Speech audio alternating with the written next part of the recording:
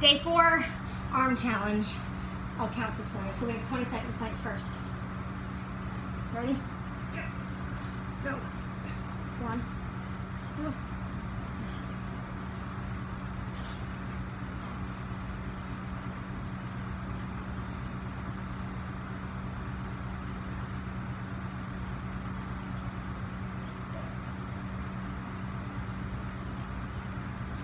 Now we have 20 mountain climbers, so stay there and do your mountain climbers. You just tap in. Okay. One.